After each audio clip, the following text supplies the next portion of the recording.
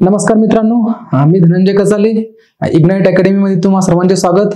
आपण आज डिस्कस करणार आहोत की जी दोन दिवसाआधी सर्क्युलर आलेलं आहे एम पी एस सीचं की महाराष्ट्र इंजिनिअरिंग सर्व्हिसेस नंतर कृषी सेवा आणि वनसेवा जे फॉरेस्ट सर्व्हिसेस आणि ॲग्री सर्व्हिसेस आहेत ह्या तिघांसाठी जी वेगवेगळी प्रिलिम व्हायची आधी त्या तिघांसाठी जी प्रिलिम आहे ती आता कंबाईन होणार आहे. ह्यामध्ये त्यांनी नाव दिलं आहे महाराष्ट्र राजपत्रित तांत्रिक सेवा संयुक्त पूर्वपरीक्षा आधी जी Maharashtra engineering services combine Maharashtra engineering service होती त्यामध्ये सिव्हिल मेकॅनिकल इलेक्ट्रिकल ह्या तीन ब्रांचेससाठी कंबाईनली प्रिलिम व्हायची. पण आता त्या त्या तीन एक्झाम होणार. राहणारच आहे अभियांत्रिकी सेवा.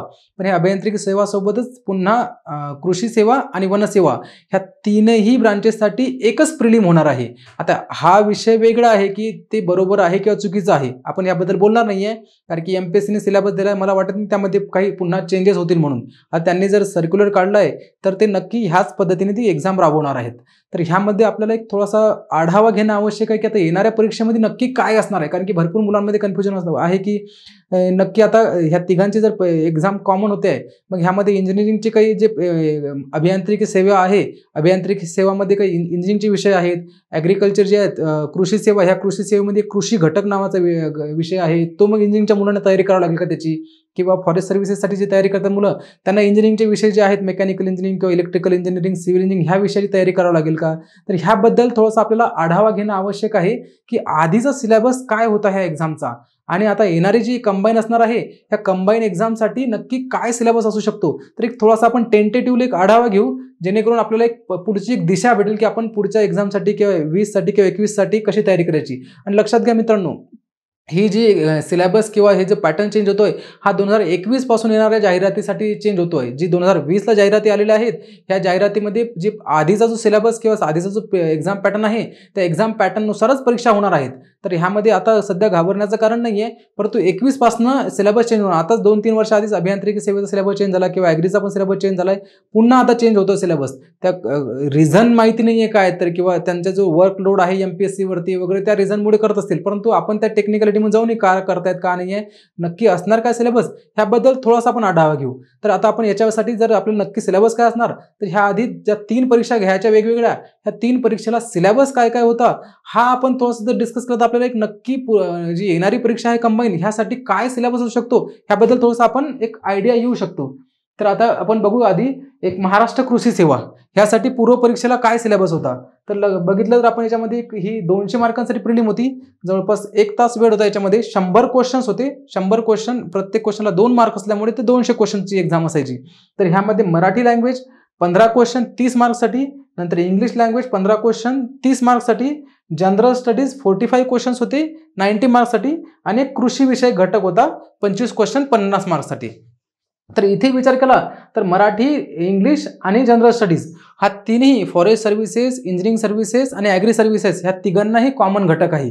आणि जर आपण कृषीविषयक घटकचा जर विचार केला तर हा कृषीविषयक घटक आता पुढे कंटिन्यू होण्याचे चान्सेस कमीच आहेत. ऑलमोस्ट इम्पॉसिबल आहेत. कारण की कृषीविषयक घटक जर घेतला तर इंजिनिअरिंगसाठी जी तयारी करतात महाराष्ट्र सर्व्हिससाठी तरी तर त्या विलां त्या मुलांना तो एकदमच इरिलेव्हंट सब्जेक्ट आहे. त्यामुळे कृषीविषयक घटक हा ऑलमोस्ट ह्या आता प्रिलिममधनं जाण्याचे चान्सेस आहेत.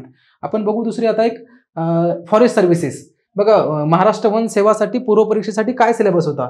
ह्यामध्ये मराठी लँग्वेज इंग्लिश लँग्वेज आणि जनरल स्टडीज हे तीन घटक होते यामध्ये. ह्यामध्ये टेक्निकल सब्जेक्ट नव्हता काही.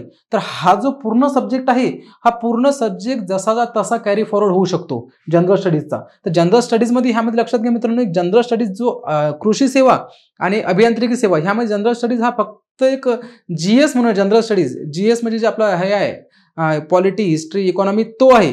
ह्या जनरल स्टडीजमध्ये ॲप्टिट्यूड रिझनिंग सुद्धा इन्क्लुडेड आहे यांच्या फॉरेस्ट सर्व्हिसेसमध्ये तर आपण हा एक ॲप्टिट्यूड रिझनिंगचा एक विषय घटक हा वेगळा आहे कशामध्ये? फॉरेस्ट सर्व्हिसेस आणि इंजिनिअरिंग सर्व्हिसेस आणि ॲग्री सर्व्हिसेस जर आपण तिघांचा सिलेबस कंपेअर केला तर. ॲग्री फॉरेस्ट सर्व्हिसेसमध्येच फक्त ॲप्टिट्यूड रिझनिंग होतं आधी. तर आता मला असं वाटतं की ॲप्टिट्यूड रिझनिंग हे आता कंटिन्यू होऊ शकते. हा पूर्णच्या पूर्ण सिलेबस हा पुढे कंटिन्यू होऊ शकते कंबाईनसाठी आता आपण जर विचार केला तर महाराष्ट्र इंजिनिअरिंग सर्व्हिसेससाठी काय सिलेबस होता? महाराष्ट्र इंजिनिअरिंग सर्व्हिससाठी मराठी विषय होता एक दहा क्वेश्चन दहा मार्कांसाठी एक शंभर क्वेश्चनचा पेपर होता जवळपास दीड तास वेळ होता यामध्ये. शंभर क्वेश्चनसाठी दीड तास वेळ होता. रिझन याला कारण की यामध्ये मराठी इंग्लिश आणि जी एस हे फक्त चाळीस मार्कांसाठी होतं. आणि साठ मार्क हे जे होते इथे आपल्याला इंजिनिअरिंग ॲप्टिट्यूड टेस्ट ह्यासाठी साठ मार्क वेटेज होतं. तर साठ मार्क वेटेज असल्यामुळे टेक्निकलचे सब्जेक्ट होते मॅथमॅटिक्स आणि मेकॅनिक्स सारखे विषय होते ह्यामध्ये न्यूमेरिकल्स वगैरे पण असतात. तर ते जास्त सॉल्व्ह करण्यासाठी जास्त वेळ लागतो. म्हणून आपल्या इथे दीड तास वेळ होता. तर ह्या दीड तासाचा आता सध्या असं होऊ शकतं की पुढची जी एक्झाम येणार आहे शंभरच क्वेश्चन राहतील. आणि जर टेक्निकल सब्जेक्ट आपले कमी होतात कारण की हे जे इंजिनिअरिंग ॲप्टिट्यूडचा जो सिलेबस आहे हा कृषीसाठी किंवा फॉरेस्टसाठी इरिलेव्हंट आहे. तर त्यामुळे हा सिलेबस पुढच्या एक्झामसाठी कॅरी फॉरवर्ड होईल याचे चान्सेस ऑलमोस्ट झिरो झालेले आहेत. तर ह्या चारही घटक जे आहेत आपले याचे इंजिनिअरिंग ॲप्टिट्यूडचे टेस्टचे तर हे कोणताच घटक कॅरी फॉरवर्ड होणार नाही आहे तर ह्याचा अर्थ असा होतो मित्रांनो जी येणारी प्रिलिम असणार आहे कंबाईन जी कृषी सेवा वनसेवा आणि अभियांत्रिकी सेवासाठी होणार आहे ह्या तिघांसाठीही जो सिलेबस असणार आहे तो कॉमन राहणार तिन्ही एक्झामसाठी आणि कॉमन राहणार तर त्याच्यामध्ये ऑलमोस्ट सिलेबस हा पूर्णच्या पूर्ण नॉन टेक्निकल राहण्याचे chances almost ninety nine percent chances झाले नॉन टेक्निकल राहण्याची. फक्त यामध्ये वेटेजमध्ये व्हॅरी होऊ शकतं कमी जास्त. मराठी तर शंभर टक्के राहणार इंग्लिश शंभर टक्के राहणार जनरल स्टडीज शंभर टक्के राहणार आणि ह्यासोबत मला असं वाटतं की ॲप्टिट्यूड रिझनिंगचा पण एक पोर्शन एक्स्ट्रा ॲड होऊ शकतो. तर असे चार घटक होऊन शंभर क्वेश्चन होऊ शकतात. तर आता आपण जर मागच्या तिन्ही एक्झाममध्ये बघितलं मराठी इंग्लिश तर एक महाराष्ट्र सर्व्हिससाठी दहा मार्कांसाठी होते दहा क्वेश्चन्स होते आणि कृषीसाठी पंधरासाठी पंधरा मार्कांसाठी होते पंधरा क्वेश्चन्स होते. तर एक ह्याचं जर रेशो बघितलं तर दहा ते पंधरा क्वेश्चन्स हे मराठीसाठी राहतील दहा ते पंधरा क्वेश्चन इंग्लिशसाठी राहतील. म्हणजे टोटल वीस ते तीस क्वेश्चन वीस किंवा तीस क्वेश्चन हे मराठी आणि इंग्लिश लँग्वेजवरती शंभर टक्के राहणार.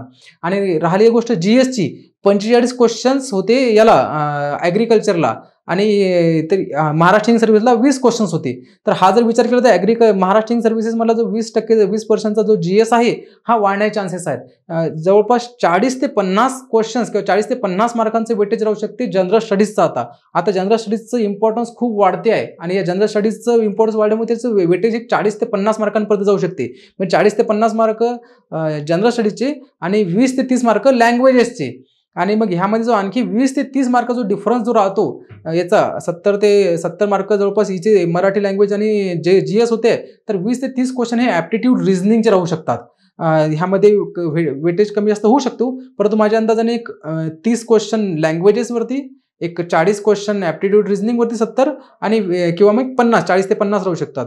आणि एक तीस क्वेश्चन्स हे ॲप्टिट्यूड रिझनिंगवरती किंवा वीस क्वेश्चन असं वेटेज कमी जास्त होऊ शकते. आणि वेळ मला वाटते की दहा एक एक तासाचा वेळ राहणार. कारण की ह्यामध्ये ऑलमोस्ट टेक्निकल सब्जेक्ट झिरो झाले आहेत. न्युमेरिकल्स किंवा कॅल्क्युलेशनचे क्वेश्चन्स राहण्याचे चान्सेस कमी आहेत. सगळे जवळपास वन लायनर क्वेश्चन राहणार आहेत. वन लायनर क्वेश्चन असल्यामुळे वेळ हा एकच तास राहणार. आणि ह्या एक तासामध्ये तुम्हाला जे काही मेरिट लिस्ट लागेल त्या मेरिट लिस्टनुसार प्रत्येक प्रवर्गासाठी किंवा प्रत्येक सर्व्हिसेससाठी वेगळी वेगळी मेरिट लिस्ट लागणार. हां हाही एक क्वेश्चन महत्त्वाचा आहे कारण की काही मुलांचं कन्फ्युजन आहे की सर मग कृषीची मुलं आणि यांची जर कंबाईन झाली तर आपली कॉम्पिटिशन वाढेल कॉम्पिटिशन लेवल वाढेल याच्यामध्ये मेरिट लिस्ट पण वाढणार. तर तसं काही होणार नाही मित्रांनो. जसंही काही म्हणजे महाराष्ट्रीयन सर्व्हिसेस वेगवेगळी व्हायची इलेक्ट्रिकल मेकॅनिकल सिव्हिल मेकॅनिकलच्या मुलासाठी वेगळी मेरिट लिस्ट लागायची इलेक्ट्रिकलसाठी वेगळी आणि सिव्हिलसाठी वेगळी.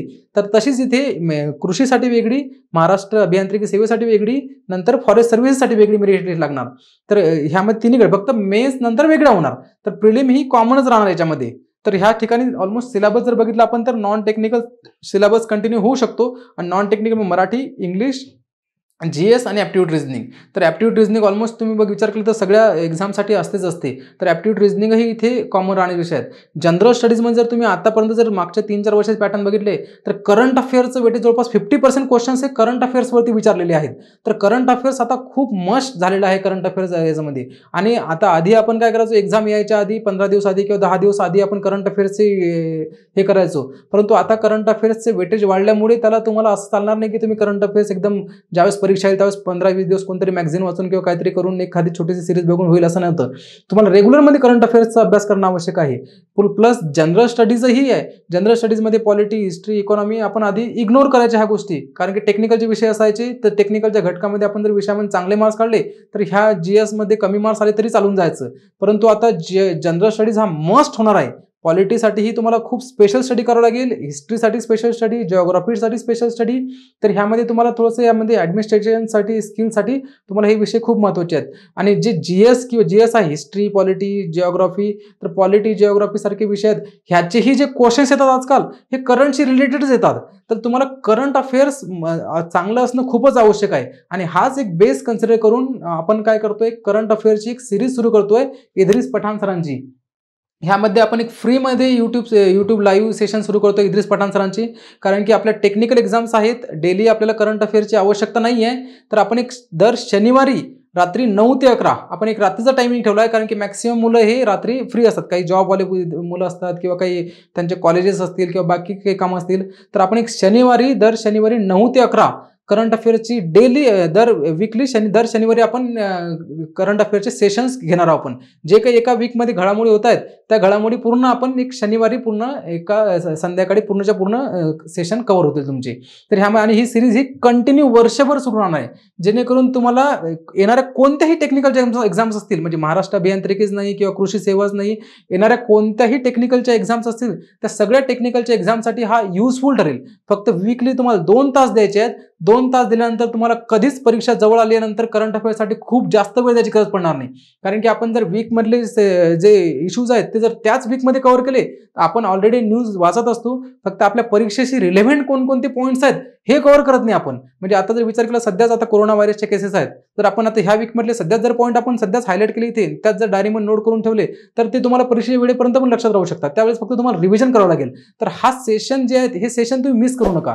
फ्रीमध्ये आहेत यूट्यूबवरती फक्त इग्राईट अकॅडमीच्या यूट्यूब चॅनलवरती जायचं सबस्क्राईब करून ठेवा तुम्हाला नोटिफिकेशन येईल. आणि दर शनिवारी रात्री नऊ वाजता जॉईन करायचं. वीकली फक्त दोनच तास द्यायचे आहेत. दोन तासामध्ये आपल्याला ज्याही काही इम्पॉर्टंट घडामोडी टेक्निकलच्या नॅशनल इंटरनॅशनल इश्यूज आहेत किंवा जे काही पॉलिटिकल इश्यूज आहेत ते सगळे इश्यू इद्रिस पठाण सर तुम्हाला एकदम परफेक्टली कव्हर करतील.